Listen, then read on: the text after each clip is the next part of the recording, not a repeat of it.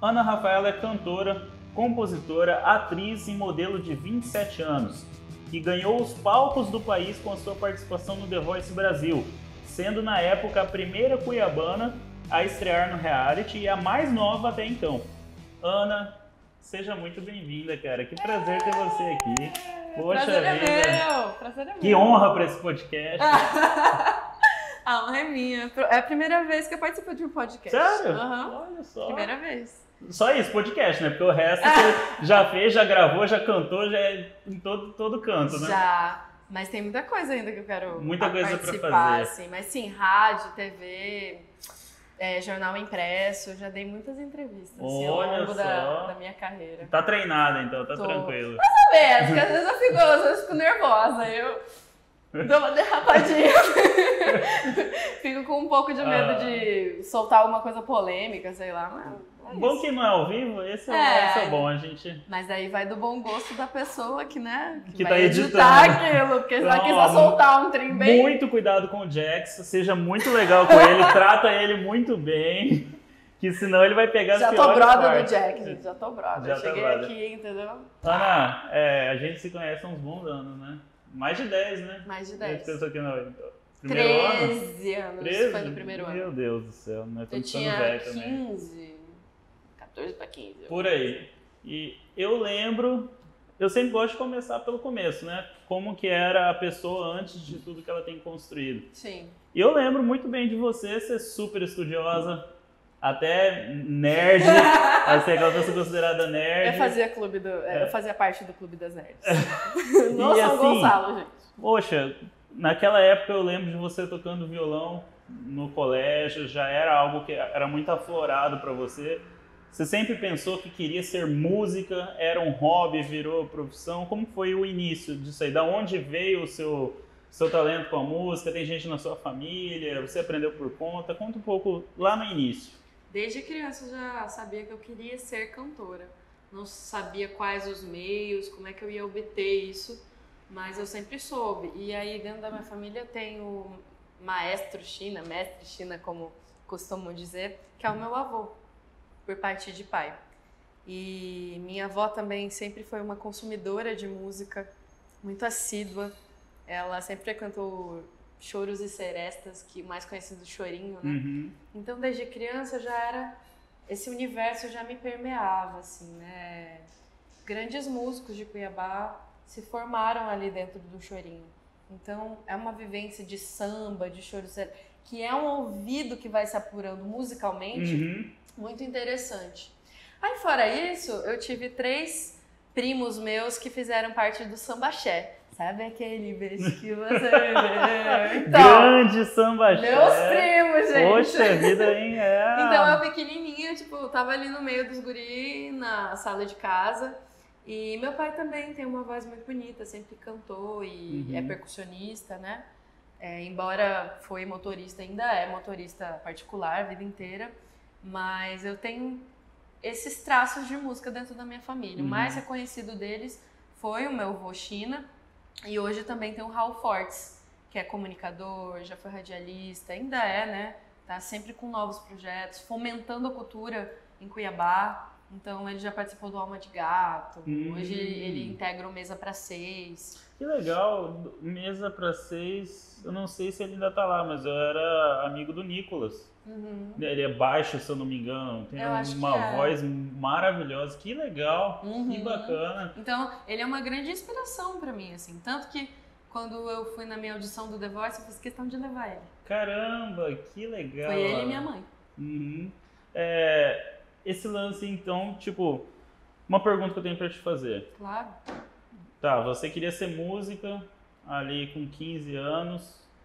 Como que você olhava para o mercado, para o cenário? Como você se sentia? Você achava que era um sonho impossível, algo muito distante, é, ou que realmente tinha condições de acontecer alguma coisa? Você encarava ainda como um sonho ou como um projeto de vida mesmo? Como que era? Eu encarava com, como um projeto de vida, mas ainda com um olhar muito romântico sobre a profissão. Uhum. Eu venho é, desde os 5 anos, né, cantando, mas aos 11 eu já integrei um projeto social chamado Prático Tucá, que quem me levou foi o meu primo Raul.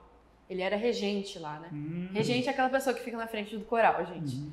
E era ele, a Regina de Musas e o Ebin Cardoso. O Ebin Cardoso é um grande músico. Hoje ele tá em Boston, é, com a Tia Rê, eu chamo ela de Tia Rê até hoje, porque, né, a memória. Mas eu compreendi que dentro da música a gente tem que se estruturar de forma que a gente tem que ter um bom repertório, a gente tem que pensar em figurino, a gente tem que pensar em iluminação de palco, interpretação.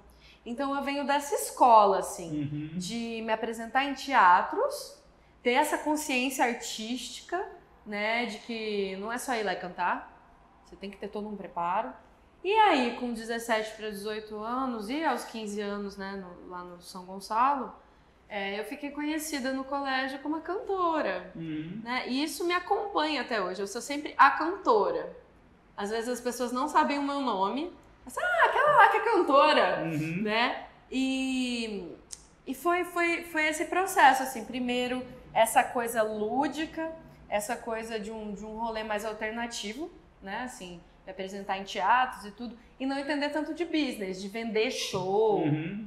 de fazer campanha publicitária, de ter um marketing todo em cima dos lançamentos. Não fazia ideia que isso era necessário. Não fazia ideia. Eu tinha aquela ideia de que, assim, se a pessoa fosse muito talentosa e surgisse um empresário na vida Uhum. dela, as coisas surgiriam, as Uhum. coisas aconteceriam. E aí foi que, né, a, a realidade veio depois do The Voice.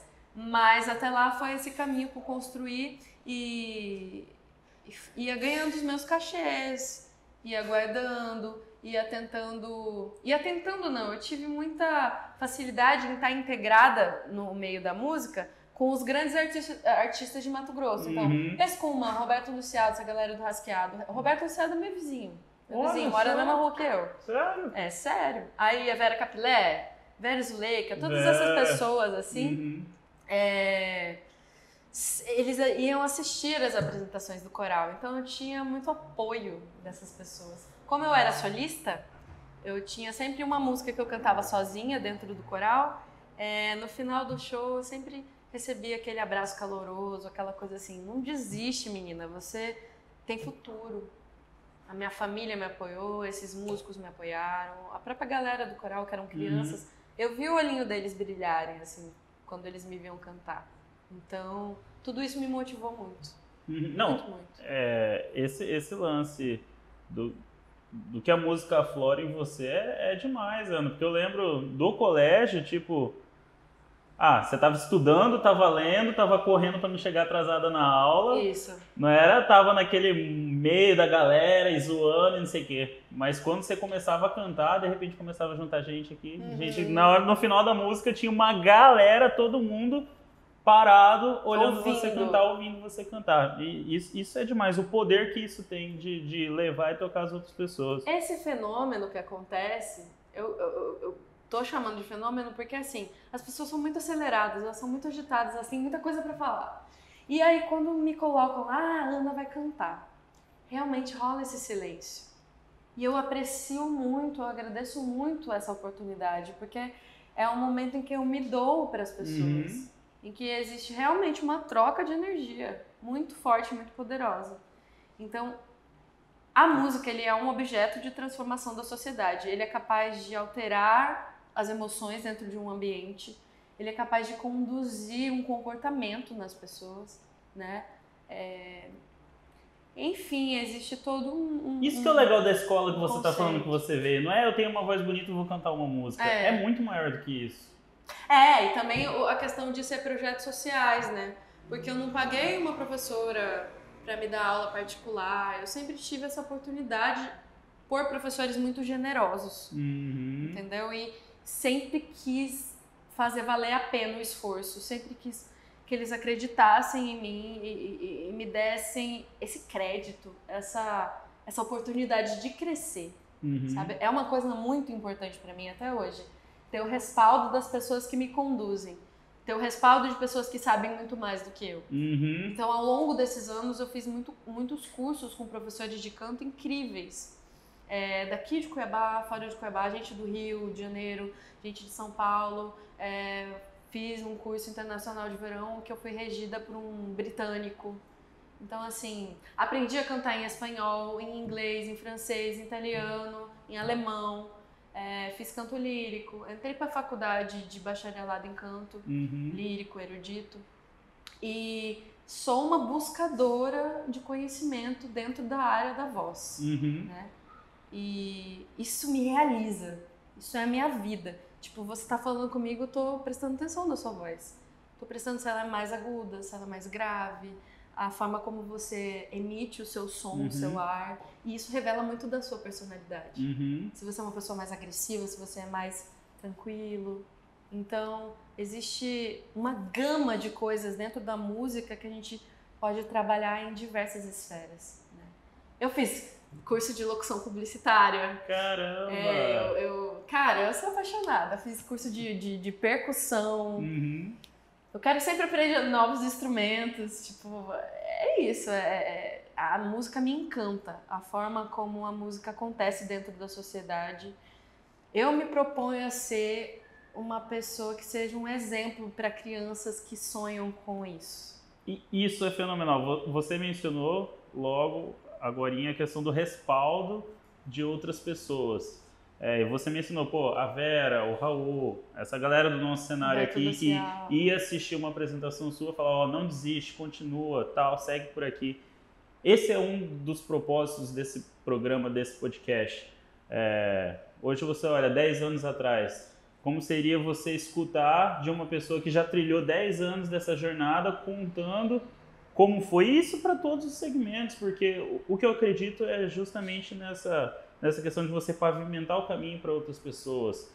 É, tem muita gente absurdamente foda aqui na nossa região, Tem. em Cuiabá e Mato Grosso. Muitos artistas incríveis. Incríveis, incríveis. E, e a gente quer contar essa história para que as pessoas que não tiveram contato, não conhecem, ou de, é de uma cidadezinha muito menor lá que não, não teve um papo frente a frente, mas pô, pode parar, pode ouvir, pode entender. Caramba, ele é daqui, ela é daqui, para ela foi assim, peraí, eu também consigo, eu também posso. Isso também é uma missão sua, né? Existe esse desejo muito grande em mim, porque eu, sinto falta de representatividade da galera de Cuiabá no Brasil, né? Embora a gente tenha expoentes dentro da música matogrossense, ainda não tem uma coisa assim, poxa, aquela cantora, aquele cantor é de Cuiabá Uhum. ou de Mato Grosso, né? A gente tem a Vanessa da Mata, que é uma grande inspiração para mim.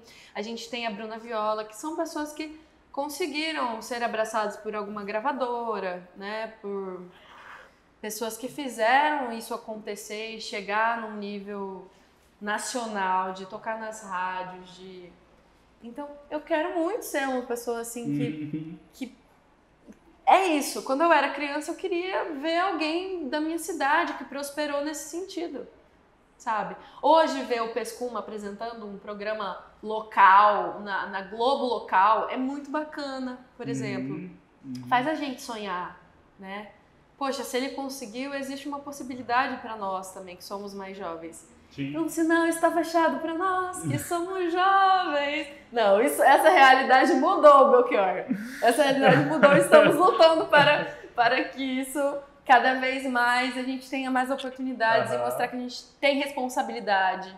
Né? Essa coisa do músico ser inconsequente, ah, que ambiente de música, ambiente de droga. Uhum. Peraí, não é bem assim. A gente trabalha pra caramba, a gente que. Ah, não, essa pessoa foi abençoada com essa voz, ela só vai lá e canta. Não é, não é assim. Meu amigo. Ai, você tem um dom que Deus te deu. Ah, que sorte você tem. É, que sorte você tem. Não vai eu estudar, não. Não vai eu acordar cedo, me maquiar e buscar parcerias. Inclusive, um beijo pra galera da Hair Concept, meus novos parceiros. Aí, né? A propaganda aqui, galera. Aproveitar. Mas assim, é, a gente tem que batalhar muito. Todos os dias eu tenho que conquistar novos públicos. Porque eu tenho aquelas pessoas que já me admiram, que curtem meu trabalho. Tem gente que me admira por conta do The Voice, mas não sabe o que eu faço hoje, não sabe o tipo de música que eu canto, Uhum. não sabe como é meu show. Tem as pessoas que já frequentaram os meus shows em teatro, tem as pessoas que assistem os meus vídeos no YouTube. Então, são fragmentos de Ana Rafaela, né? Tem, hoje, por exemplo, um menino que tava me maquiando falou assim: Nossa, é, pelo seu Instagram eu achei que você era brava. Tá brincando. É, juro pra você. Eu com essa cara de anjo. Eu tenho essa cara de anjo. Mas eu sei de fofocas. Enfim. o tempo inteiro eu canto, gente. Eu sou desse jeito. É o meu jeitinho. Pior que é, cara. O melhor que é mesmo. Desde, desde guria. Desde é guria. Não, não mudei muito assim. Agora eu fiquei mais séria, né? Tem esse... Então, o que eu tava falando pra ele era justamente isso. Poxa, eu sou séria. Sou assim eu, eu mantenho uma postura de, de, de tentar ser, ter credibilidade, de tentar ter o respeito das pessoas mesmo, uhum. pela, pela minha própria profissão, por eu ser mulher. Então, assim, peraí, eu sou cantora, mas não sou bagunça. Não é assim, uhum. vem chegando em mim achando que eu vou topar os rolês aí, entendeu? Porque eu quero uma oportunidade. Não é bem assim. Eu tenho uma postura de, tipo, me respeita, uhum. entendeu? Já rolou então... muito desse lance da galera, tipo, Cara, Colocar não cachê muito. na mesa e a fazer umas propostas malucas? Não, não muito. Só assim, uma questão de depois do show ir lá agradecer o contratante e ele passar uma mãozinha assim na minha cintura. Ai, fiquei grilada. Porque assim, na hora, você fala assim, ah, é um carinho, poxa, a pessoa gostou de mim. Depois que você sente a mão vindo, assim, uma memória, você fala assim, pera aí, não foi tão legal. Rola muito isso. E aí eu, eu tomo mais cuidado. Então, ao invés de abraçar, tipo, oi, né, do uhum. jeito que eu sou muito aberta, eu já tomo uma postura diferente. Às vezes é um aperto de mão, às vezes é um abraço mais comedido, assim. É, foram coisas que. É, um toquezinho na mão. Uma, são coisas que a gente vai aprendendo a driblar. Mas não, a galera sempre me respeitou muito mesmo. Uhum. É porque eu, eu vivo num ambiente de muito homem ao meu redor. Músicos, técnico de som, iluminador, equipe de, de, de, de televisão, equipe de jornalismo. É muito raro ter uma mulher junto, assim, nesses rolês. Quando tem uma mulher, às vezes é a maquiadora, às vezes é assistente de palco, assim, de, de, de arrumar um microfone, alguma coisa. Mas é muito homem, é um ambiente muito masculino. Uhum. Então, eu aprendi a lidar e, graças a Deus, todo mundo sempre teve muito respeito, assim. Eu acho que também por eu ser de Cuiabá, pelas pessoas conhecerem a minha família, né? Eu tive essa esse carinho por parte das pessoas. Uhum. E a forma como eu me comunico também, Sim. né? Eu sempre tento tratar todo mundo muito bem, meus músicos, quem tá comigo tá comigo. E vamos embora, eu quero ver todo mundo realizado, eu quero uhum. levar todo mundo por mais longe que eu puder junto comigo. A realidade é bastante difícil, né? Para você levar um uso, por exemplo, eu fiquei morando quatro anos em São Paulo. Uhum. Foi muito difícil para mim levar o João Reis, por exemplo, que é meu parceiro é, de música, um dos meus melhores amigos, para tocar comigo. Eu tive que encontrar outros músicos lá. Mas num projeto muito importante, tipo Domingo na Paulista, que eu cantei, eu fiz questão de levar ele. Uhum. fiz questão porque ele faz parte da minha história, ele faz parte do que eu sou ele tem esse mesmo sonho que eu, ele é compositor, ele é cantor. Então, poder brilhar junto de alguém que, que caminha com você é muito importante para mim também. Uhum, muito 10. Ana, é, vou, vou, voltar um pouquinho aqui. Claro. The Voice. Uhum. The Voice Brasil!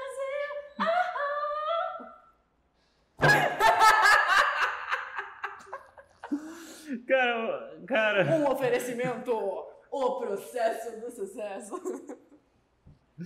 Ai, meu Deus, cara, muito bom. Isso vai ter que ir pros cortes, Jack. Você tem que sair um corte desse. The Voice, da onde veio a ideia de se inscrever? Como que foi para você? O que, que você enviou na hora da, da, Eu nem sei como funciona esse processo para se inscrever, como que é, conta um pouquinho pra gente. E o sentimento quando falou, tá, foi selecionada. E aí? Eu estava, estava eu no, no no corredor do São Gonçalo, Colégio Salesiano do São Gonçalo. Um beijo pra todos. Essa equipe massa, é um colégio massa, eu gosto muito. Me chama pra ser garota propaganda. Me é... chamem pra palestrar. né?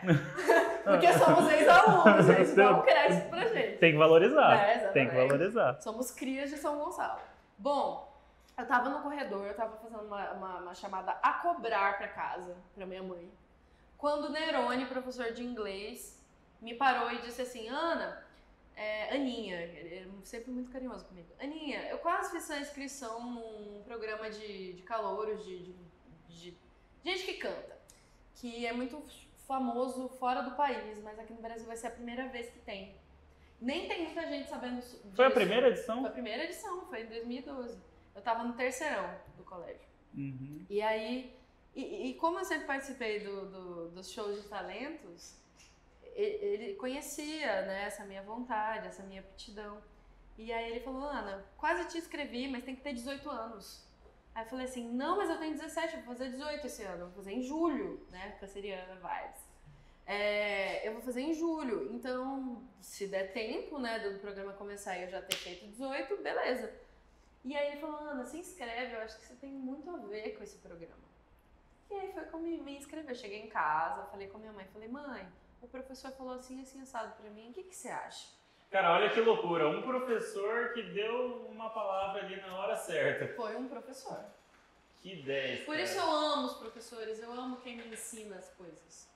É, no São Gonçalo até me zoavam por causa disso, porque eu sempre conversei muito com os professores. Não, não só isso, mas você tá nova. presente no É. diálogo. Cara, se você tá ali no celular, ah, valeu, beleza, não, depois, depois eu vou dar uma É. olhada. Você nem sabe o que, que o cara falou, a Não, oportunidade. eu acho que é aquela coisa, a gente tá alinhado com, com algo que tem muita força pra acontecer, entendeu?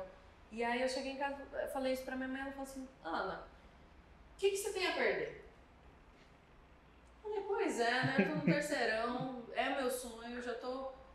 Não é que eu tava de saco cheio da, da- do, do colégio, mas eu tinha essa ânsia de trabalhar com música Uhum. Dedicar meu tempo integral pra música. Porque é como você disse, eu chegava esbaforida no colégio, por quê? Porque eu fazia inglês, eu fazia teatro, eu fazia teatro musical, eu fazia violão e eu ainda fazia o coral. Uhum. Então eram muitas coisas mesmo que eu me comprometia a fazer. Ainda tinha aula à tarde. né? Isso, eu era bolsista no São Gonçalo, bolsa 100%. Então eu, eu não podia falhar ali, eu não Uhum. podia ficar de recuperação. Então era uma cobrança assim que eu mesma fazia pra mim. Meus pais não, não ficavam no meu pé. Eu que queria ser, eu queria Sim. crescer. Eu queria não, eu quero, né? E eu acho que dá pra perceber. Mas aí foi isso, aí eu me inscrevi, eu fiz o vídeo, eu me inscrevi como todo mundo, eu não fui indicada. Tem muita gente que acha que eu fui indicada, né? Mas agora, quando, gente, meu pai é Indicado motorista, por quem? por quem? Meu pai é motorista, minha mãe dona de casa, tipo, não sou de família tradicional de Cuiabá, cheia da grana. Como que eu fui indicada? Aí eu me inscrevi, é um Como você, questionário gigante. fez? Co- Como funciona a inscrição? O que, que você tem que enviar? Você tem que enviar uma breve história de quem você é e cantar uma música ou duas, assim, mostrando a sua voz. Sem corte, sem edição, sem ser gravado em estúdio, Uhum. né? Uma coisa assim, bem ao vivão mesmo. E responder um questionário gigantesco de que sites que você saiu, se a sua família te apoia ou não. E foi isso, assim, eu fiz aquele questionário gigante e demora um tempão pra eles te procurarem e dizer que você foi escolhido para fazer audição regional. Teve audição regional em Brasília, em São Paulo, eu me inscrevi para do Rio de Janeiro, porque eu já tinha passado de Brasília, que era mais perto. De repente me ligam lá em casa, olha, você foi selecionada para audição regional. Era uma quarta-feira e você tem que estar no Rio de Janeiro sexta-feira, no hotel, na Barra, um hotel cinco estrelas, não sei o que lá, não sei o que lá, e preparar uma música. Que música você vai cantar? Já assim. Uhum. Eu, ainda bem da Marisa Monte, que foi a música que eu gravei na, no vídeo. No vídeo. Ah, beleza, ok. Nossa, linda essa música. Eu amo essa música. Ela é muito linda. E na época tava bombando numa novela também. Eu sempre arrepiava ouvindo. Verdade, ela foi tema de novela, Foi né? De novela. Uhum. Na hora que apareciam os apaixonados. Pra gente só olhar pra, pra televisão e fazer assim. "Ah, Eu também queria um amor desse. Não custa nada sonhar, né, gente? Sonhar. É isso. E aí eu escolhi essa canção. Aham. E eu fiz a audição lá no Rio de Janeiro. Chegando lá, eu topei com figuras conhecidas da música, tipo Diego Moraes, que tinha sido finalista do Ídolos. Marcela Mangabeira, que é uma cantora. é, Ela não é daqui, mas ela construiu a carreira dela aqui.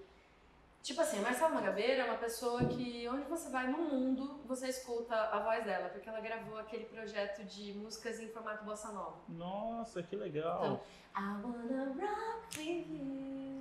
Uhum.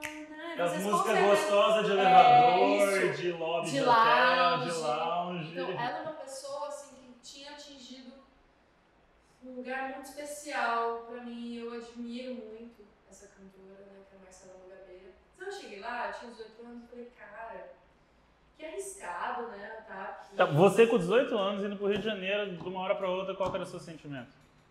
Era um sentimento de, putz, eu tô tendo uma grande oportunidade. Eu tô com gente que eu admiro pra caramba. E se for do meu merecimento, né? Se for eu viver isso, eu vou agarrar com minhas dentes. Eu vou viver isso. Eu tava no terceiro ano do colegial, mas eu deixei de lado o colégio. Eu sempre fui uma aluna muito estudiosa, realmente. Mas eu deixei de lado o, o colégio para poder viver isso integralmente. Fazer as amizades, conhecer os produtores musicais, que são alguns dos produtores musicais melhores do Brasil. Equipe de figurino, equipe da, da, da técnica. Cara, eu tava na Globo. Eu tava sendo transmitida pro mundo inteiro com a minha voz, com a idade que eu tinha, com a pouca experiência que eu tinha, né?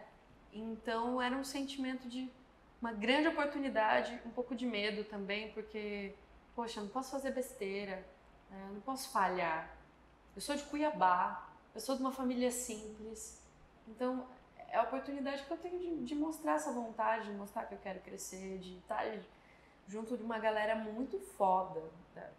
Pi, palavrão. Não, pode falar, não tem problema. Uma galera muito foda, tipo, gente que já tinha gravado com o Djavan, gente que tinha gravado com o Jorge Versilo, gente que tinha cantado no Japão. É... Marquinhos Sós, por exemplo, que era backing vocal, foi backing vocal de muita gente, Kes Estácio. Lia Soares, que tinha composto pra Sandy Júnior! Eu sou muito fãzete de Sandy Júnior, da Sandy agora principalmente. Ela, tipo assim, sabe aquela música? Você despede só o amor. A, a Lia tinha composto, então eu tava competindo com essas pessoas. Falei, como assim? Então, é, foi lindo. Eu me emociono até hoje de lembrar. Eu mantenho contato com muita gente que foi meu colega no The Voice, Uhum. que se tornaram grandes amigos. Por exemplo, no meu primeiro disco, a vencedora, campeã do The Voice, que foi a Ellen Oléria, ela gravou uma música comigo. E uma música que foi composta pelo meu melhor amigo, que é o João Reis. João. Então, é, são grandes realizações, são pequenas conquistas que se potencializam dentro de mim, dentro do meu coração e fazem eu querer caminhar cada vez mais, eu querer trazer gente que eu admiro para perto. Uhum. E aí os meios do caminho para descobrir isso a gente vai vivendo e vai se arriscando e vai investindo o dinheiro que a gente pode.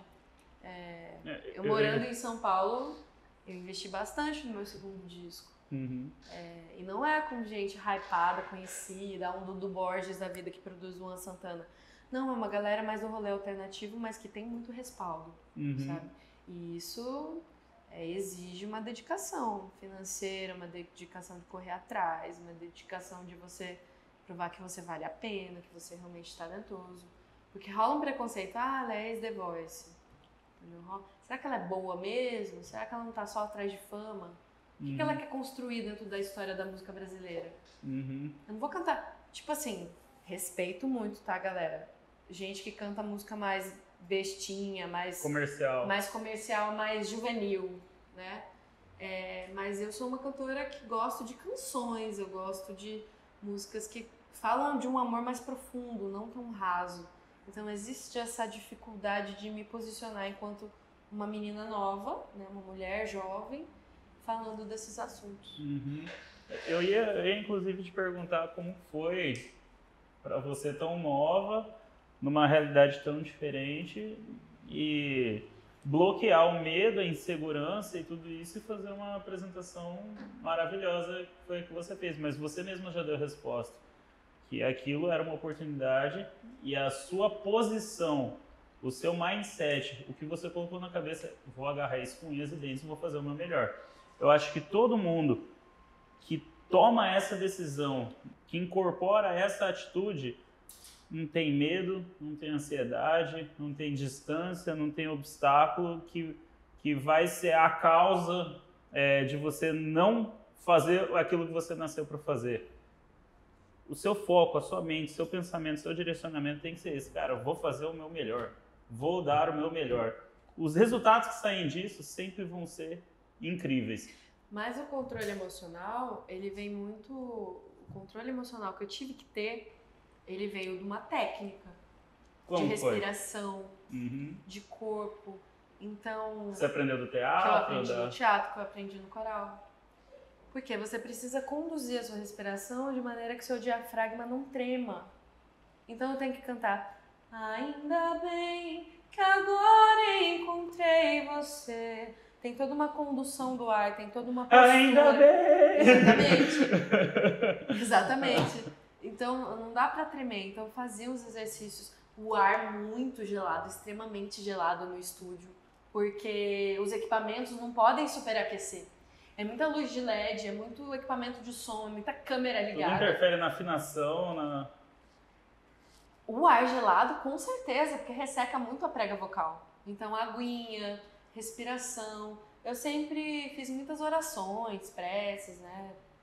É, então, eu pedia para Deus me dar aquela serenidade, me dar aquela postura. E, e é isso, o nosso corpo se comunica, né? A- a- a- se você tá ansioso, você fica fazendo dancinha, né? Cantando pra lá e pra cá. E uma coisa que eu aprendi no teatro é o ator ele tem que saber exatamente onde ele está pisando, exatamente onde os pés querem se posicionar. Tem que ter uma intenção na sua Uhum. movimentação.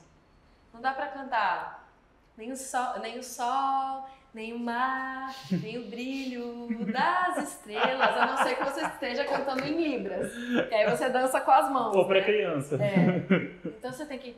Nem o sol, nem o mar. Não pode ter muito braço. Ou Tudo é intencional. braço de menos. Tudo é intencional. Tudo tem que ter uma intenção. É, tudo intencional, tudo tem, tudo tem que ter um motivo. Uhum. Então, o seu preparo para participar daquilo também foi um, um Uhum. fator essencial. Não só é, sua postura mental, mas você fez o que tinha que ser feito para chegar lá e ter a sua melhor performance. Exatamente. E me utilizei de coisas que eu aprendi no teatro, no coro, né? Que é você timbrar a voz, respiração, é, é alongamentos, né? Você, você- os cantores são atletas da voz.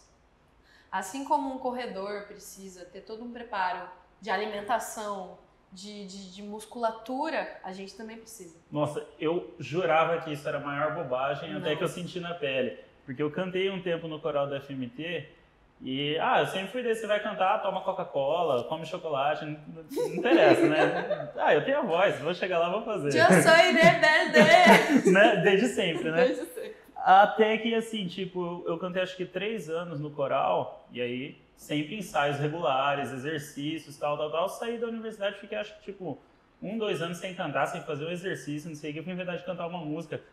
Cara, não vai, é igual academia. Você vai na academia, você tá na pegada, tá treinando, tá beleza. Fica um ano sem treinar e volta, tenta pegar o mesmo peso.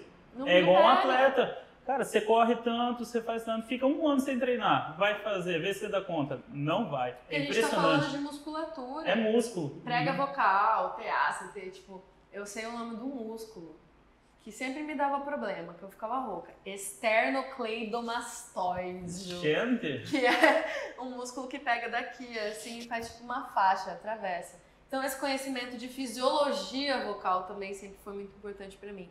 Saber nome de músculo, saber sobre o trato respiratório, sobre alimentação. Então, são várias coisas que englobam realmente. A dica, quando me pedem dica, ah, pra quem quer cantar, quem quer começar a cantar, é sempre isso. Cuida da voz, cuida do corpo, cuida da mente. Uma professora minha, uma vez, quando eu tava meio deprê, meio descuidada, assim, ela me falou: Você quer ser cantora? Responde pra mim, você quer ser cantora? Eu falei: Eu quero. Então você acorde cedo, você se alimente, se exercita. você estude, você se exercita, entendeu? Porque senão você não vai chegar em lugar nenhum. Sensacional. Ana, pós The Voice. Até então era aquela menina de São Gonçalo estudando no terceiro ano, de repente, na Globo, em todas as telas, a cidade inteira torcendo por você, de uma hora para outra, milhares de pessoas, é, você tendo acesso a tudo isso. Como foi para você isso? Foi um grande desafio? Quais foram os impactos emocionais de de repente você tem toda essa atenção? Muita gente interesseira aparece nesses momentos. Como foi para você lidar com isso? Olha, foi um momento bastante complicado emocionalmente pra mim, porque eu realmente tinha essa ideia de que eu ia aparecer no The Voice e a minha vida ia se transformar de maneira que eu ia me tornar uma artista nacional de uma hora pra outra. Hum, Que ia aparecer uma gravadora, que ia aparecer. a, a Claudinha... Era só a peça que faltava pra É, tudo mais Pra eu acontecer. deslanchar, entendeu? Porque a minha vida inteira eu ouvi, nossa, você tem muito talento, por que você não se inscreve no Raul Gil? É, por que, que você não tenta falar com o Zezé de Camargo, com o Leonardo, com não sei quem? Por que, que você não canta sertanejo? Por que, que você não canta gospel? Menina, você vai estourar. E a gente vai acreditando, né? Quanto mais gente diz, tem um lado bom e tem um lado em que a gente carrega uma, uma tensão é, e uma coisa que pode ou não se realizar. Então, beleza, tive uma exposição muito bacana. Cuiabá, por ser uma cidade pequena em relação ao Rio de Janeiro, São Paulo e tudo mais, eu, eu tive um grande foco. As pessoas sempre vinham me cumprimentar. É, eu, ti- eu fui contratada para cantar em shoppings, em eventos da prefeitura, é, eventos corporativos. E sempre fazia aquela roda ao meu redor para tirar foto, para me filmar. Então foi muito. Eu, eu senti um gosto dessa fama. Uhum, Porque sucesso é diferente de fama, né? Total. Naquele momento eu tive uma fama. E eu ficava muito feliz, mas ao mesmo tempo eu entrei nesse limbo de ah, a Globo não te chamou para fazer nada, é, a Claudinha não vai te empresariar. E aí essa expectativa, que cada dia que eu acordava, eu via que não aconteceu, que eu continuei morando em Cuiabá, eu amo a minha cidade, tá gente? Mas naquele momento eu queria muito morar no Rio de Janeiro, porque estava perto do Projac, que eu podia fazer audições para teatros musicais, podia ter uma oportunidade, que já que eu estava numa ascensão, né? Tinha acabado de aparecer em rede nacional. E eu morando aqui em Cuiabá, sem empresário, sem.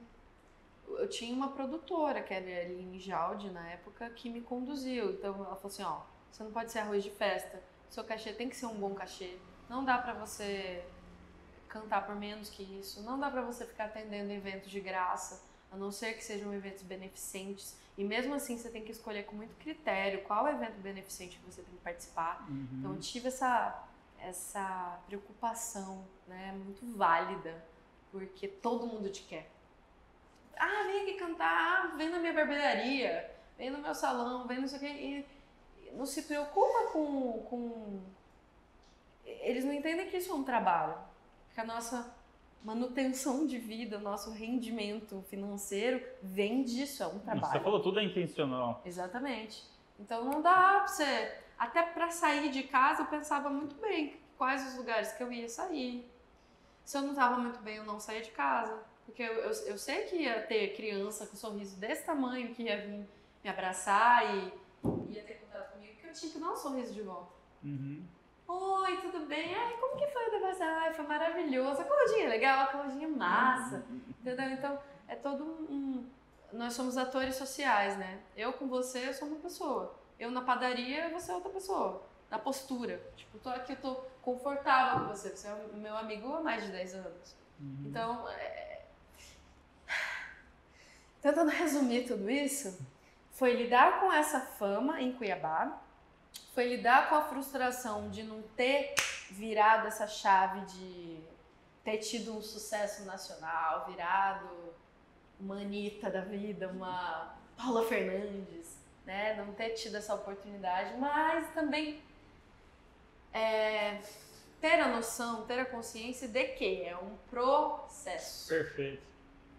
De que as coisas não acontecem do dia para noite. E todo mundo espera a grande tacada do dia pra noite. Cara, não adianta. Eu falo demais sobre o processo. Não é algo atrativo, não é algo que salta aos olhos, todo mundo acha o processo um porre, mas é a única coisa que vai te dar resultado.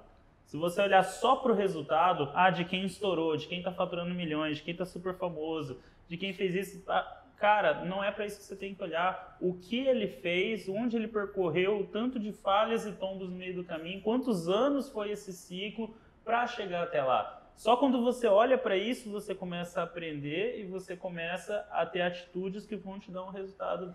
Exatamente, Final. é um dia de cada vez, é um degrau por vez, são pessoas que você tem que ir conhecendo aos pouquinhos, é, você tem que construir uma carreira sólida, você tem que buscar se profissionalizar cada vez mais, ter fotos profissionais, cuidar da sua imagem, saber se comunicar nas redes, fazer um media training para quem tem dificuldade para encarar a câmera, é, é, tem que saber a posição do seu rosto, a entonação da voz, o que, que você quer Qual é o seu arquétipo? Uhum. Que é isso, hein? Tá falando bonito pra caramba. Pois é! Eu conheci muita gente. E ainda tenho que aprender cada vez mais, Aham. porque é, é, entender também de psicologia, tipo, a sua personalidade. Eu sou uma pessoa mais melancólica. Por mais que eu seja, assim, extrovertida, eu no meu dia a dia sou mais melancólica, eu sou reflexiva. Eu não gosto de... de estar rodeada de muita, muita gente. E parece contraditório, né? Eu ser artista e querer ter um público grande que venha a, a, a minha procura, mas eu gosto de ser reservada. Eu gosto de ter um momento para eu ler, para fazer meus origamis, para fazer minha yoga, para eu fazer minhas orações. Então, é um pouco complicado essa figura artística da figura de quem eu sou enquanto pessoa. Porque tem muita gente que se aproxima de mim pelo fato de eu ser cantora. Pô, vem no nosso churrasco, traz o violão. Entendeu? Nossa, que porcaria eu vi um negócio desse. Entendeu? É... Ai, chama ela, porque daí você dá uma palhinha pra gente, né? Nossa. Daí você dá uma cara. palhinha pra gente, né? Não tem como dizer não. Senão você é um antipático, você é o. Hum, sucesso subiu a cabeça. Aham. Entendeu? Então hoje eu lido melhor com isso. Ah, é? Vocês querem me ouvir cantar? Cara, que raro que é uma pessoa parar pra ouvir o outro, Aham. né? Ah, é? Então beleza, vamos fazer silêncio aqui e eu vou cantar pra vocês. Aí eu taco uma música em francês.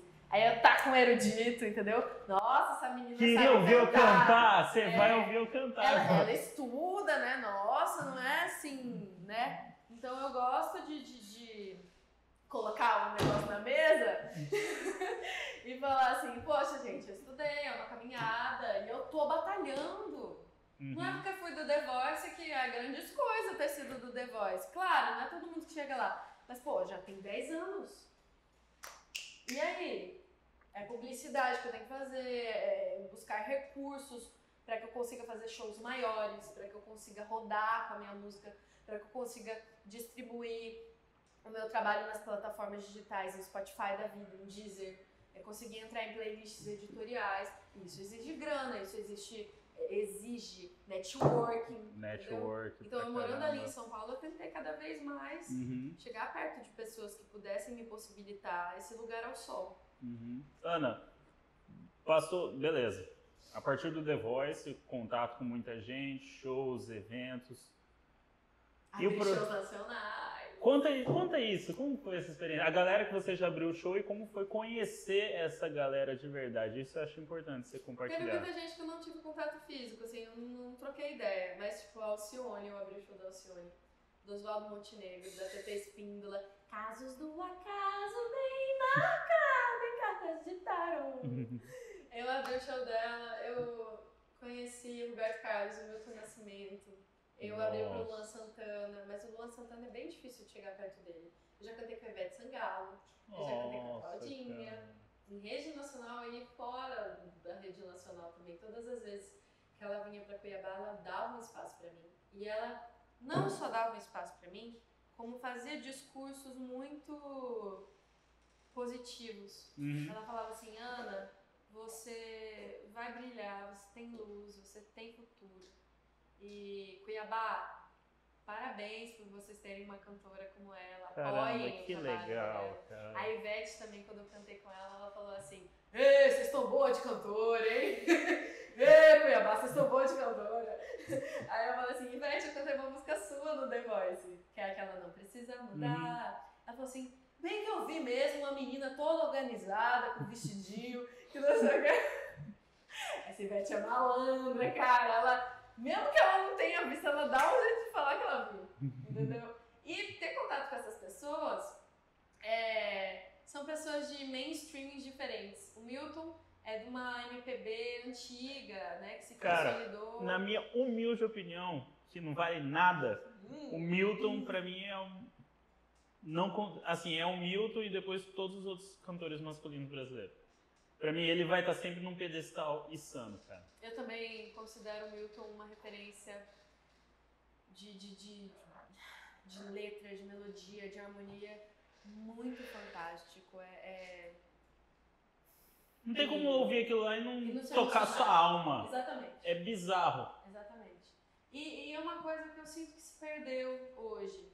Eu compreendo que a música é também entretenimento, mas ela também é educação. Então é preciso, é necessário falar de coisas belas, é preciso, é necessário falar sobre o amor, é, é necessário falar sobre espiritualidade.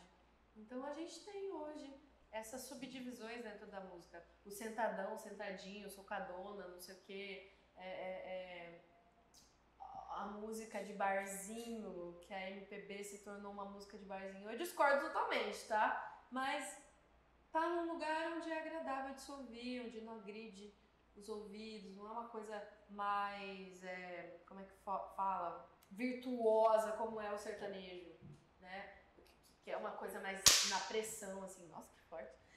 na pressão, assim, tipo, esqueça-me se for capaz. Uma coisa é você ouvir isso, outra coisa é você ouvir. Mande notícias, o mundo de lá diz quem.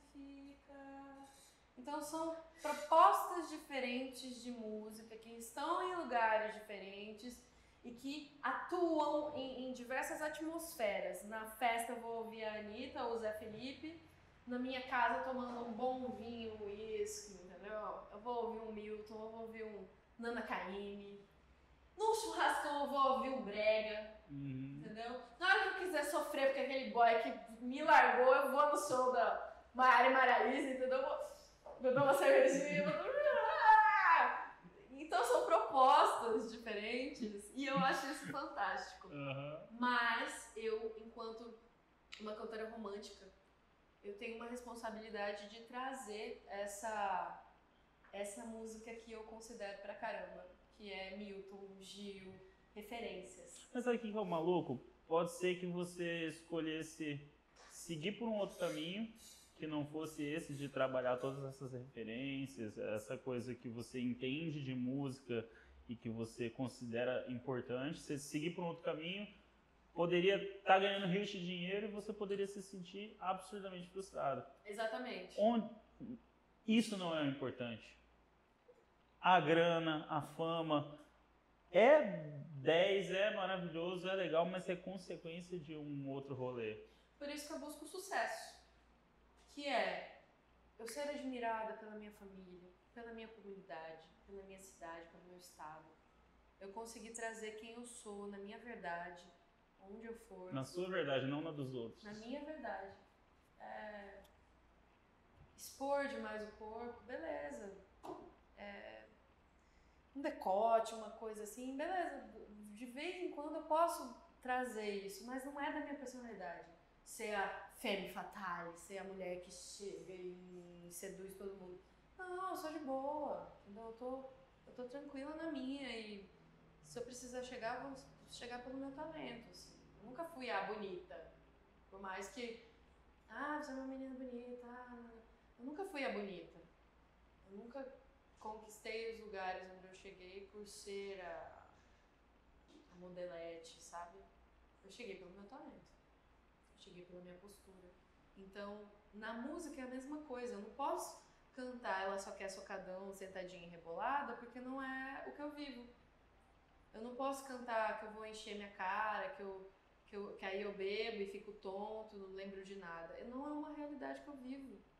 Isso é maravilhoso, cara, porque todo mundo deveria aplicar isso na sua vida. Eu não posso fazer isso se não é minha realidade, se não reflete os meus valores, se não é o que eu acredito.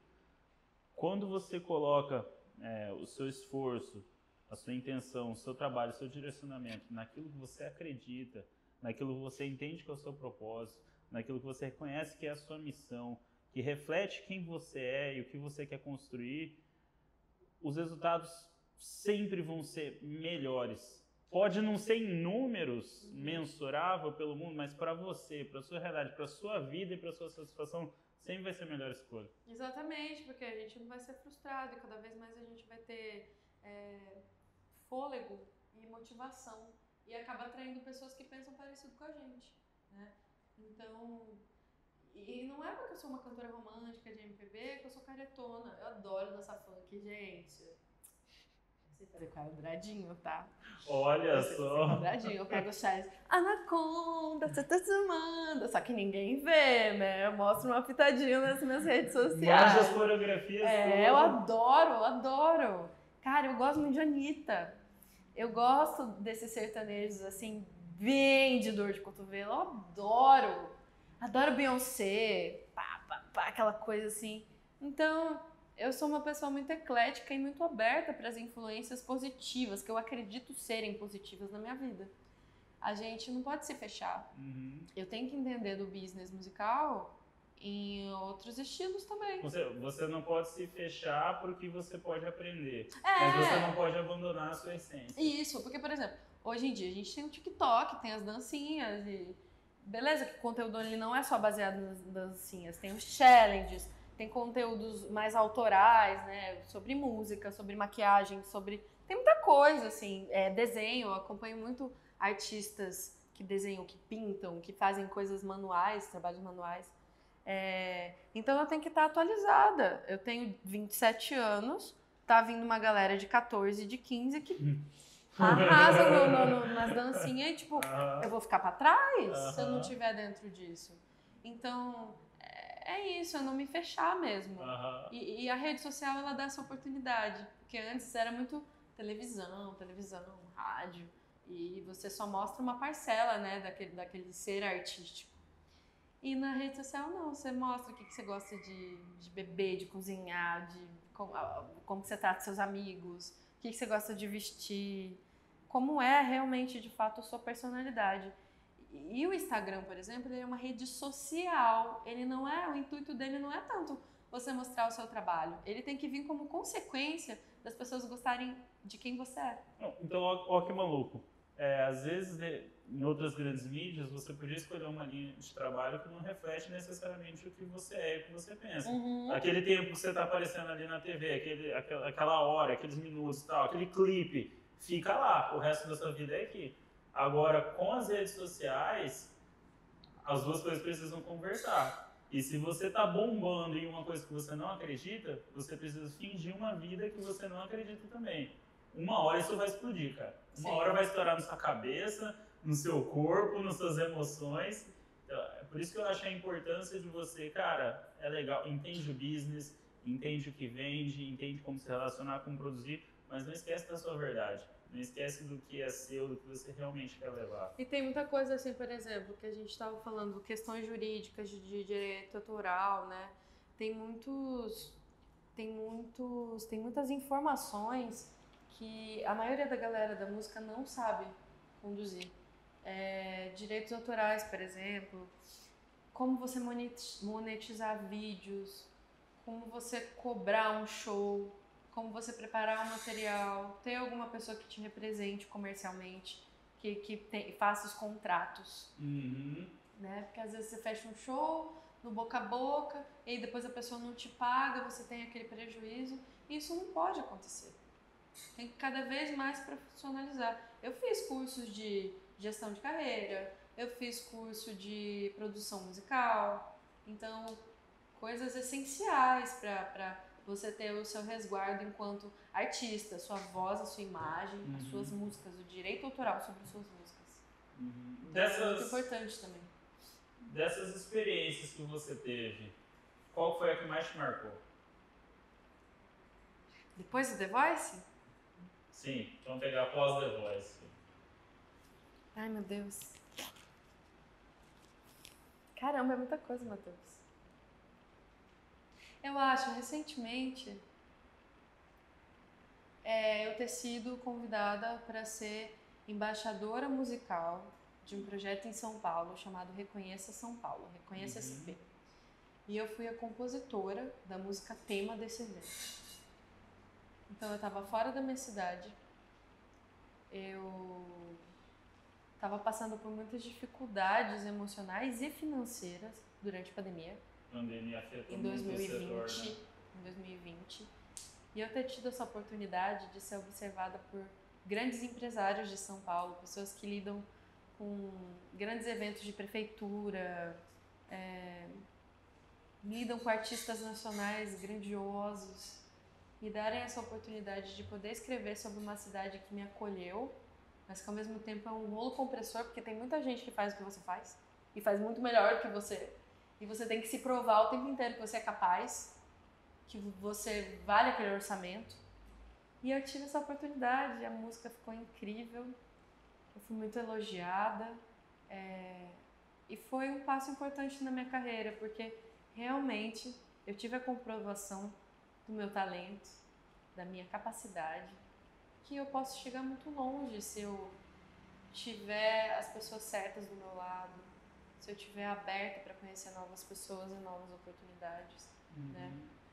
Não trabalhar só com música, trabalhar com locução publicitária, trabalhar enquanto atriz, trabalhar produzindo outros artistas, fazendo direção vocal.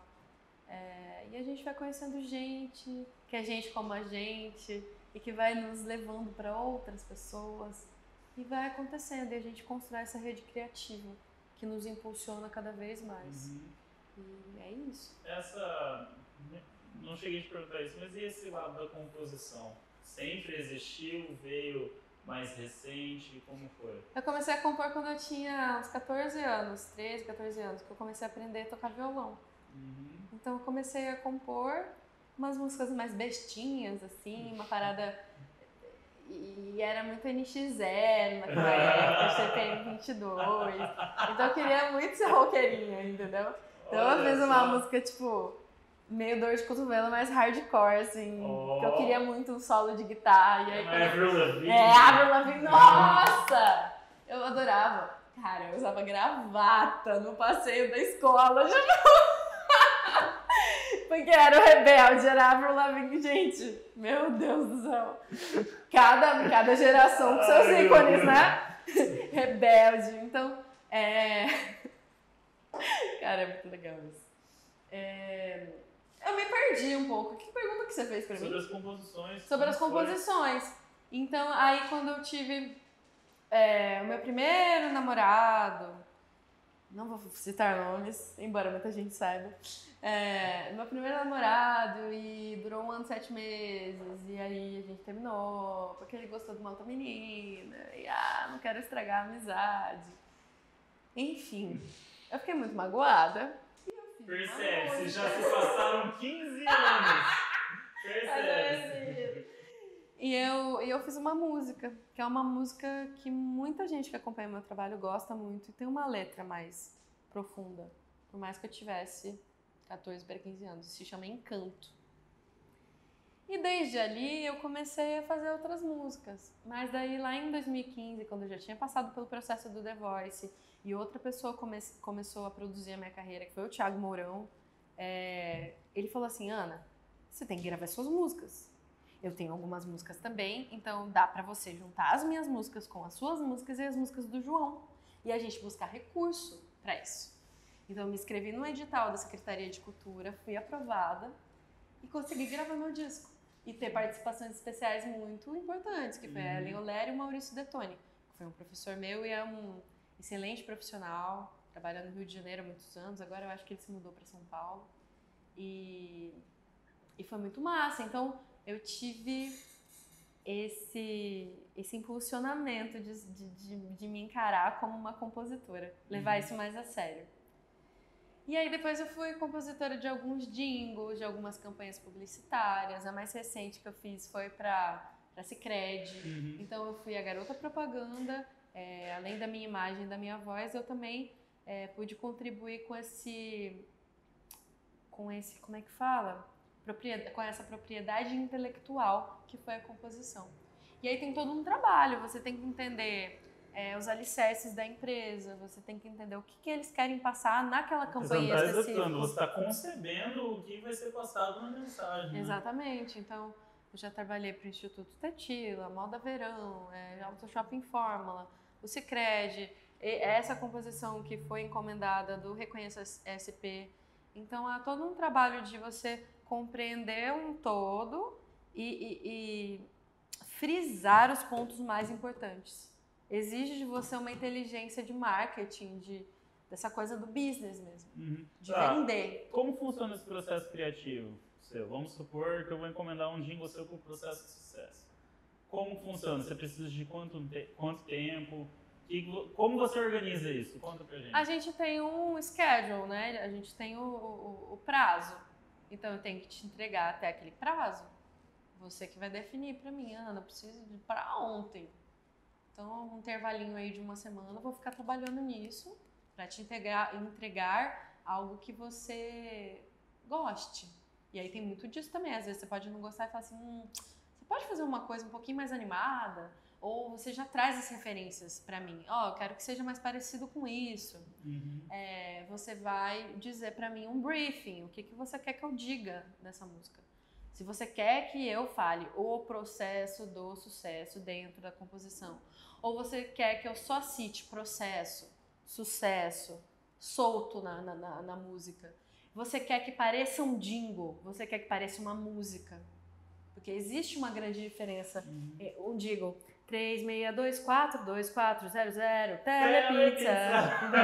Isso é um jingle, um jinglezão. E tem tipo, um sorriso mais bonito traz a alegria, nana, faz a gente. Nana.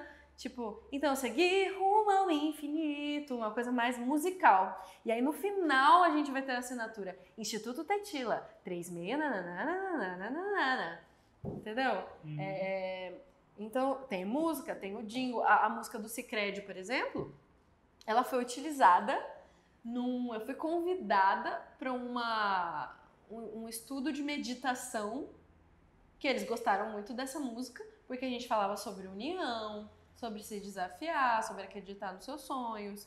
E, e eu fui convidada para cantar uma música comercial numa parada que era totalmente diferente. Uhum.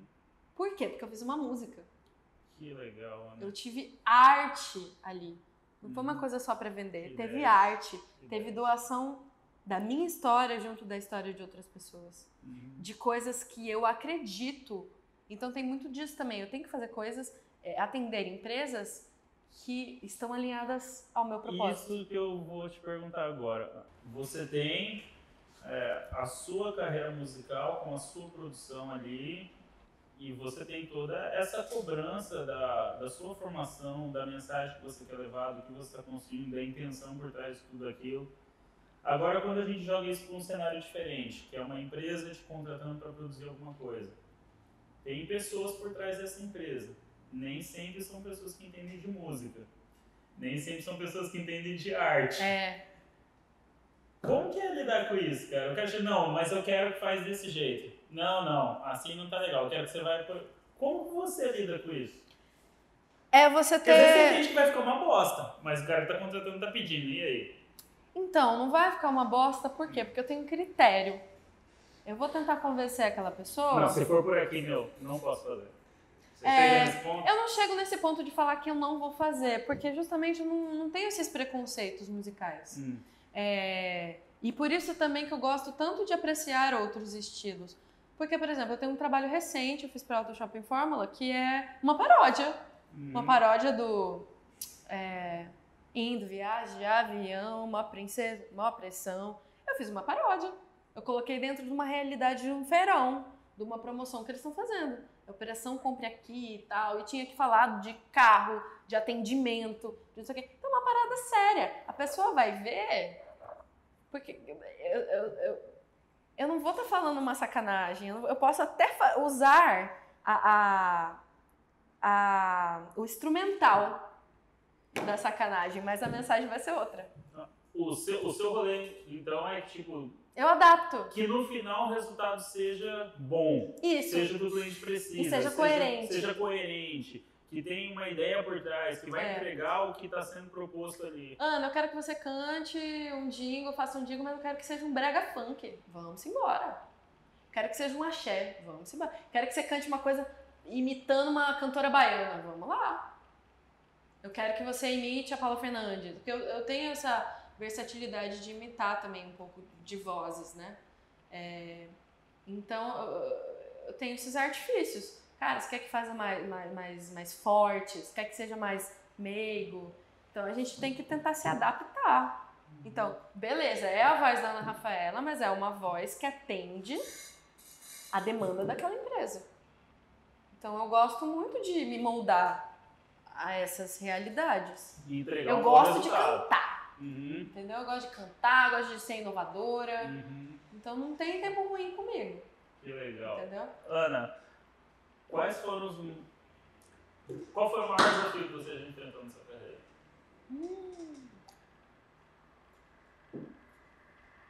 Cara, morar em São Paulo. Morar em São Paulo sem ter sem ter um trabalho fixo, sem ter uma renda fixa, ter que ficar vindo sempre para Cuiabá, manter o meu meu network aqui em Cuiabá e lá em São Paulo correr atrás e ter esse desencadeamento que foi a Covid. A Covid realmente ela derrubou muitos sonhos porque eu tava com um disco encaminhado, eu tinha uma turnê encaminhada de 15 shows aqui em, em, em, em Mato Grosso. Eu realmente ia receber um valor considerável dentro da minha realidade, um valor de cachê muito bacana para cada show. Eu ia conseguir pagar profissionais que eu tava sonhando muito em ter comigo. E, e, e esse trabalho ele ia me impulsionar no sentido nacional Uhum. de poxa, ela lançou um disco e ela já tá tendo uma turnê. Ela lançou um disco e já tá tendo esses resultados de números dentro do Spotify. O meu primeiro single, ele atingiu um, um número de 400 e poucos mil plays Caramba. no Spotify. Ela tocou em todas as rádios de Mato Grosso. Eu fui em cada rádio. Eu fui em Sinop, em Rondonópolis, na Arenápolis. Nor não, não, Arenápolis não, Nortelândia, Nortelândia. E, cara, eu tava indo assim, tava indo muito bem. Pá, Covid. Aí eu terminei um relacionamento de sete anos, eu tava em São Paulo sozinha. Eu. Evento corporativo, tchau. Evento corporativo, Prefeitura, tchau. Prefeitura, tchau. Nada, Show, nada, tchau. Nada. Cara, que loucura. De uma pessoa que fazia uns três, dois shows no mês e tinha um cachê legal, conseguia pagar minhas contas. Aluguel em São Paulo é muito caro. Mais alimentação, mais Uber, mais não sei o que. Cara, eu fui minando, assim. Fui minando, meu psicológico ficou muito abalado. Eu realmente pensei em desistir seriamente da música. Eu falei assim, cara, qual que é a minha utilidade no mundo? Se a música é considerada fútil, se ela é considerada um artigo de luxo. Porque as pessoas estão preocupadas com arroz e feijão. Estão preocupadas em pagar um bom médico, em ter é, é, bons medicamentos para se tratar daquilo, psicólogo para você manter sua mente sã, aulas online, né? Sei lá. Cara, eu me vi assim muito perdida. E aí foi quando eu trabalhei de, de produtora no evento da Prefeitura de São Paulo, atendendo pessoas em situação de rua. Tipo, eu trabalhava é, 12 horas, né, das 7 da manhã às 7 da noite, para ganhar uma diária de 200 reais. Sendo que o meu primeiro cachê enquanto cantora, aqui em Cuiabá, numa empresa de música e tudo, era 400. Vai cantar uma hora e meia. Uhum. Então foi uma realidade que, tipo assim, cara, vamos encarar essa realidade, vamos abaixar a cabeça, vamos entender que, beleza, você é um expoente da música em Mato Grosso, você tá caminhando bem, mas hoje, minha filha, ou você abraça essa oportunidade, ou não vai ter condições de você se manter em São Paulo. E aí, assim foi é, o meu ano de 2020. De 2020. E aí, em 2021, em março, eu retornei para Cuiabá. Porque eu queria ficar perto da minha família, porque eu sei que aqui eu tenho grandes apoiadores, eu tenho empresas que, que se tornam parceiros. Então, uma maquiagem, um cabelo que eu faço, uma unha, é, uma terapia, uma massagem, qualquer coisa assim que contribua, um pilates, uma academia, e contribua para o meu bem-estar e para minha manutenção enquanto artista. Eu tá bem arrumado, eu tá bem da minha cabeça, eu tá com um físico bacana. Então, alimentação, enfim, todas essas coisas que englobam a vida de uma pessoa que quer ser saudável, Uhum. né? É, então eu voltei para Cuiabá e agora realmente eu tô colocando mais a minha cara tapa, né? Tô mostrando mais a minha cara, tô comunicando às pessoas que eu estou aqui, porque tem muita gente que ainda acha que eu moro em São Paulo. Uhum. Tem muita gente que ainda acha que eu sou casada. Então é me mostrar essa nova realidade minha. Tipo, gente, eu tô aqui disponível para novos trabalhos.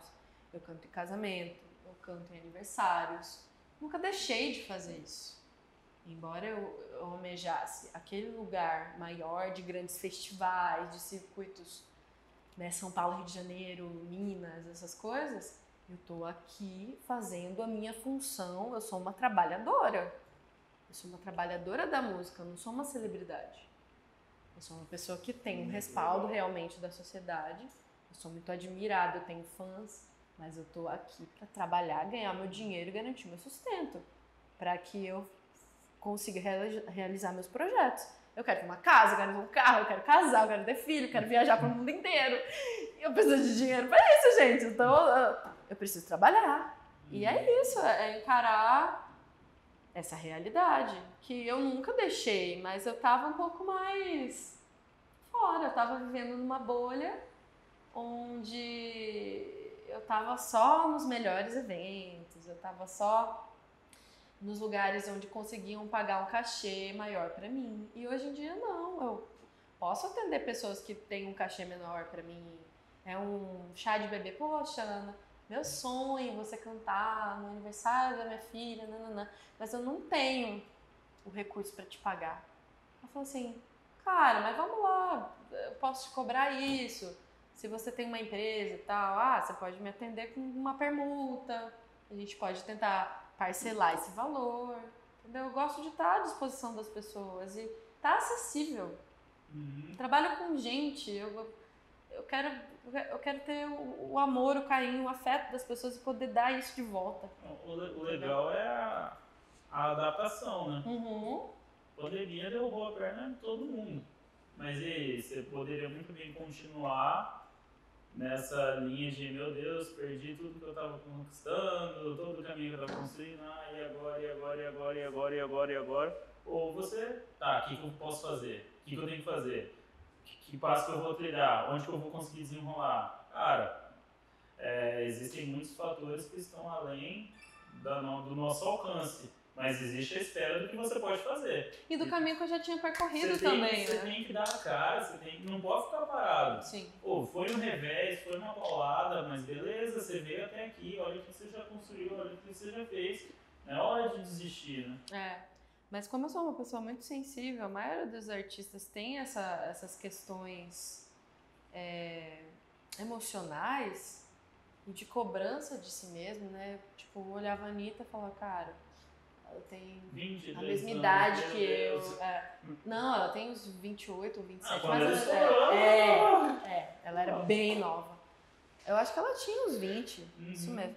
Aí olhar uma Anitta da vida, olhar uma Ana Vitória e falar, poxa, eu podia ter tido essa mesma oportunidade, eu podia estar estourada, mas não adianta. Isso que resultado vai trazer isso? Nada. Para de sofrer, galera. Tá? Não tem oportunidade uma hora você vai conseguir. O processo do sucesso. Tá, o que, que eu posso O que, que é o sucesso? Cara, é o degrauzinho por degrauzinho. É você estudar. É você buscar pessoas que são exemplos dentro daquela área que você quer. Buscar estar junto de gente que já está mais evoluída. E aí vem também a questão de você ver o comportamento dessas pessoas. Tem gente que vai te tratar muito bem, vai te acolher, e tem gente que vai, tipo, não vou perder meu tempo, porque você não tem paciência para quem tá começando. Entendeu? Eu gosto da Suzana Vieira falando aquele meme. É, e você aprendeu o que, que você quer ser. Se você vai ser essa pessoa cuzona, que vai cagar pra todo mundo e só vai focar em si ser egoísta, ou a pessoa que tem a generosidade de falar assim: vem aqui, eu vou te mostrar o caminho. Já te digo que não vai ser fácil. Você está uhum. disposto? a perder noites de sono? Você está disposto a faltar aniversário da sua melhor amiga? Está disposto a pagar o preço? Você está disposto a não ficar, a não fumar, a não beber bebida alcoólica porque você tem que cuidar da sua voz? Uhum. É que a minha professora me falou. Você quer ser cantora? Você quer ser empresário? Então vai estudar. Vai estudar e vai levantar recursos para isso. Quem não tem papai e mamãe que vai dar aquele impulsionamento, galera, vamos correr atrás. Uhum. Não tem jeito. E é isso, oportunidades e oportunidades. Às vezes você está focado naquele negócio que não está te dando resultado, muda um pouco a direção, muda um pouco o foco. Eu, por exemplo, agora eu quero fazer faculdade de fonoaudiologia, que é uma coisa que eu sou apaixonada por voz. E eu vou ter uma autoridade para falar de voz. Beleza? Eu sou uma cantora, as pessoas acham que eu canto muito bem. Então, tendo o conhecimento da fisiologia vocal, tendo essa, essa, essa, esse estudo mesmo, né, essa graduação, eu vou poder falar assim, gente, por mais que eu soubesse muito de voz, eu precisava disso aqui. Eu vou provar para vocês por que eu precisava disso aqui. Uhum. Entende? Não é ficar acomodado, não é achar que é o bonzão, porque isso acontece muito dentro da área da arte. Cara, eu vou fazer curso sim. Eu vou fazer curso com gente daqui, eu vou apoiar gente daqui. Não é só valorizar o que está lá fora. Não é só, ah, São Paulo, São Paulo, São Paulo. Não. Pelo contrário, a gente tem que fortalecer a cena aqui. A gente tem que estar tá alinhado com as coisas aqui. E sempre que a gente puder trazer a oportunidade de vivência do que a gente colheu de fora, massa. Dar palestras, dar, dar cursos, dar masterclass, dar um aconselhamento na, na, na rede mesmo, no Instagram, uhum. né, que a uhum. gente usa mais. Cara, ser generoso, compartilhar o conhecimento. É assim que a gente cresce. Não uhum. adianta a gente ficar, ai, eu não vou passar meu contato, eu não vou é, dar oportunidade para aquela outra cantora porque eu posso perder espaço. Negativo, todo mundo tem um espaço. O que eu vou citar cantoras que eu admiro muito, estão muito legais assim na cena aqui. Stânia, que também foi do The Voice, Stânia Cavalcante, Adria Almeida, é, Thay Rodrigues. Cara, assim, umas meninas, Lorena Lee, hoje está morando em Brasília, que foram pessoas que participaram do The Voice, né? A Thay, que ganhou Gente Inocente quando ela era criança. Cara, todo mundo tem uma voz diferente, tem um estilo diferente, se veste diferente, tem uma personalidade completamente diferente. Então, assim, quem vai querer a Stânia, ela vai querer a Stânia, não vai querer a Ana Rafaela. Entende? E nada impede também de naquele momento ela contratar a Stani, mas pra frente ela falar assim, poxa, muito legal, mas agora deixa eu, deixa eu tentar ver como que é o show da Ana. Uhum. E existem, cara, Cuiabá é muito pequeno, a gente tem poucos artistas, assim... A gente tem poucos artistas porque a gente tem poucos habitantes, a gente tem poucas casas de show, a gente tem pouco incentivo.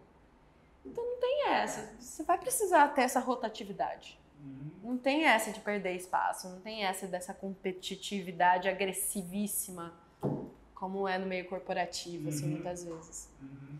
Então, baseado no respeito, baseado na admiração, baseado na abertura que você dá para os seus colegas de trabalho, né? É, as coisas vão fluindo cada vez mais. Ana, um conselho que você daria para essa pessoa que era você há 10 anos atrás, que pode estar nos assistindo, o que, que você diz para essa pessoa? Apesar de que você já falou bastante coisa, mas assim, cara, o principal, qual é a mensagem?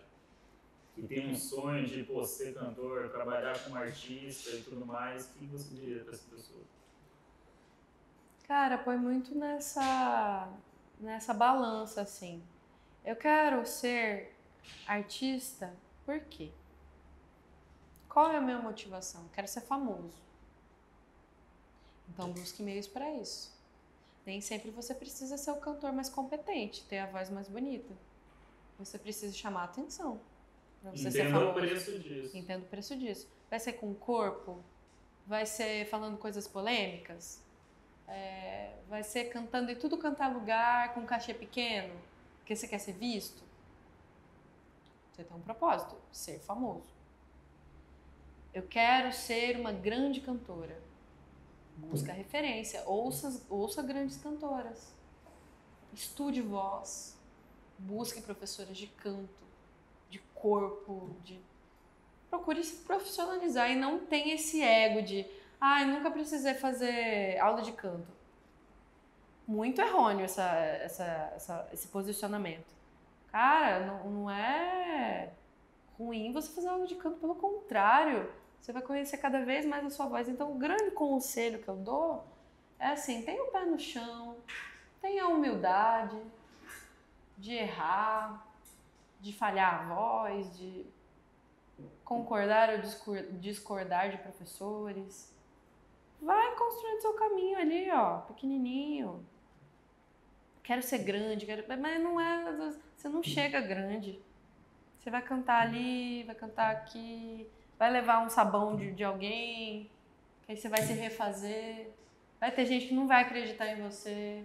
O que, que você quer ser cantor em Cuiabá? Não dá dinheiro, vai estudar, vai ser médica, vai ser advogado. Cara, você tem esse sonho, é a sua motivação, é do fundo do seu coração, é aquilo que você deseja, do fundo da sua alma. Então viva isso. Não desiste. Não desiste, porque só assim que a gente vai conseguir se realizar nessa existência. E o tempo, ele corre muito rápido. Uhum. Quando você vê, já passou, e aí você não vai poder olhar para trás e falar assim: Poxa, eu sonhava tanto uhum. em ser tal coisa. Seja. Seja, viva. Hum. É isso, eu falei muitas coisas, mas eu acho que a mensagem foi passada. Não, perfeito, maravilhoso. Ana, é, a gente tinha combinado de fazer uma música aqui, mas agora eu tô com medo. É, o boleto você acerta, manda pro Jax, eu acerto a cachê com você. Então a nossa equipe vai entrar em contato. Até parece, né? Cara. Vamos fazer, vamos fazer. Já você viu o violão aí? Eu queria ouvir você tocar uma ukulele. Acho que a primeira vez que eu vi você tocar o ukulele ao vivo ah. foi, foi quando eu cheguei aqui no estúdio. Legal. Eu achei legal, cara. O que, que você acha? Uma autoral ou uma, uma versão? O que seu coração fala? Hum. Ai, gente, não deixa a decisão na minha mão, que o meu ascendente é em Libra. Não, ficou pô, bugada. com... Mas eu vou mandar em francês. Lembra que eu falei assim: ah, você quer que eu canto? Ah, então eu vou cantar. Então, beleza. Tem e eu estudei muito essa música, gente. Eu não falo francês, mas. Tem que fazer valer, pô. É, mas a minha pronúncia já foi muito elogiada, viu? Ah lá. Des yeux qui font baisser les miens. un riz qui s'éperce sa bouche. Voilà les portraits et touches de l'homme auquel j'appartiens. Quand il me prend dans ses bras, il me parle tout bas, je vois la vie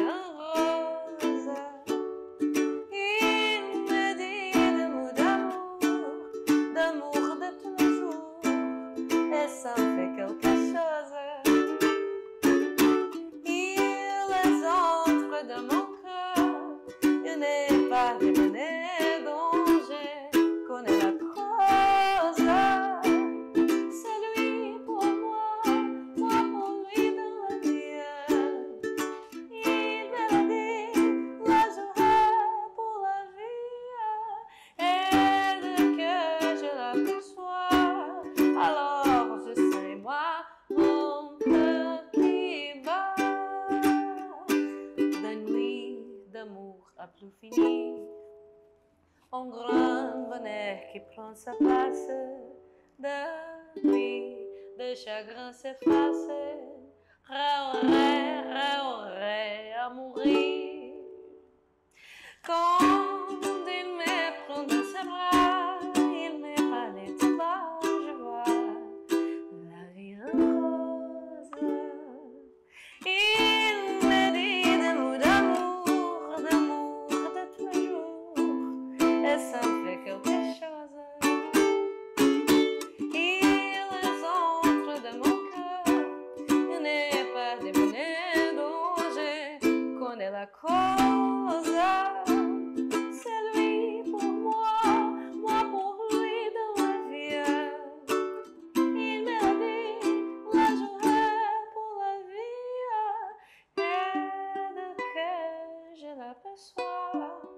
Alors je sens moi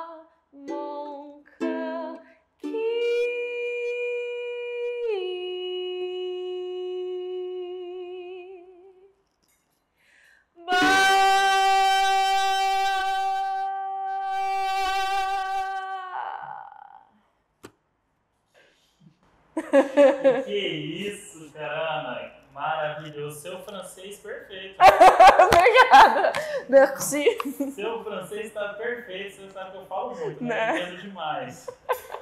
Eu posso ter a honra de tocar uma música. Porque cantar eu não vou cantar é nem a pau. Eu posso ter a honra de tocar uma Faz uma segunda voz aí, Matheus. Pô, dá uma ajuda aí pra sua amiga. Pô. Assim, agora eu fiquei nervoso. Relaxa.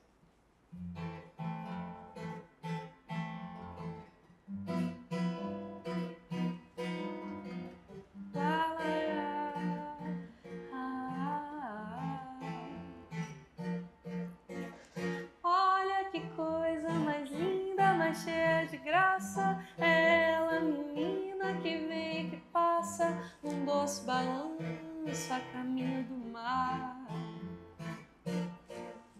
Moça do corpo dourado do sol de Ipanema, o seu balançado é mais que um poema, é a coisa mais linda que eu já vi passar.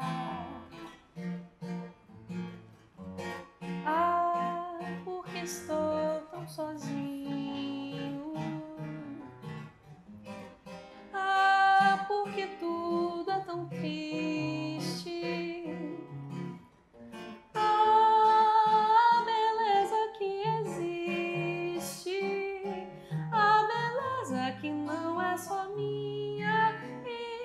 Também passa sozinha.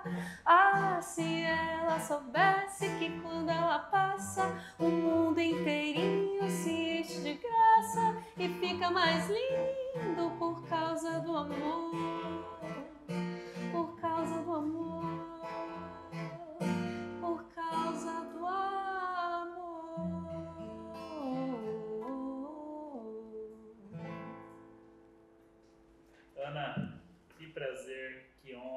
Muito obrigado a você. É uma pessoa incrível, uma pessoa de muita luz, que tem uma mensagem espetacular para levar para muita gente. Fico muito feliz, cara. A gente se conhece há mais de 10 anos. velho. Poder ter você aqui, poder conhecer mais sobre a sua jornada, né, o que te trouxe até aqui e o que você tem pela frente ainda, eu tenho certeza que é maravilhoso. Fico muito emocionado e muito feliz, que é muito importante para mim, especialmente porque eu sei o tanto de gente que precisa ouvir isso, o tanto de gente que tem esse mesmo sonho, que tem Com esse mesmo certeza. desejo, que não tem a menor ideia de com quem conversar, o que falar, por onde ir, o que fazer, Uhum. o que esperar, achando que é uma grande tacada e se frustra e fica deprê, se acomoda numa vida fazendo algo que odeia, enterra, engaveta um sonho, tanto o desperdício de tantos propósitos que a gente vê e eu acredito de verdade que a gente vai é, despertar isso em muita gente. Eu fico feliz demais. Muito obrigado. Ana, Ah, como que as pessoas te acham nas redes sociais? Como que elas podem te acompanhar, entrar em contato contigo? Pode me acompanhar no Ana Rafaela Oficial no Instagram, no meu vídeo do YouTube, né? Meu YouTube também, meu canal é Ana Rafaela Oficial. No Instagram também eu tenho uma, uma- Instagram não, Facebook eu também tenho uma página, né? É, Ana Rafaela Oficial. Mas se vocês jogarem Ana Rafaela, vai estar lá minha fotinha. É, é fácil de, de identificar, sabe? Spotify, é muito importante que vocês ouçam as minhas músicas no Spotify. Salvem as músicas, façam pré-save quando tiver um novo lançamento. Ah, é basicamente isso. Você jogar. YouTube, se inscreve. É, se inscreve lá. no canal, ativa o sininho, dá a sua curtida. E é isso. Eu queria agradecer demais, Matheus, pelo, pelo convite. Eu acho que é muito especial é, poder encontrar amigos do colégio fazendo coisas grandiosas, assim. Eu acho que esse programa, os seus projetos todos, sua empresa, é muito massa poder ver o quanto você cresceu e desejo para você todo o sucesso do mundo. Conta comigo sempre que você precisar.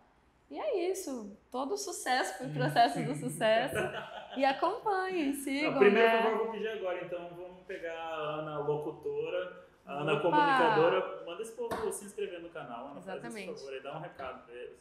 Galera, se vocês quiserem descobrir o processo do sucesso, eu indico para vocês esse canal, porque vai clarear muita coisa. Então, siga já o processo do sucesso. Ah, lá, que isso, só vai chegar o boleto pra gente depois. Já que você eu tô com medo, cara. Ave Maria.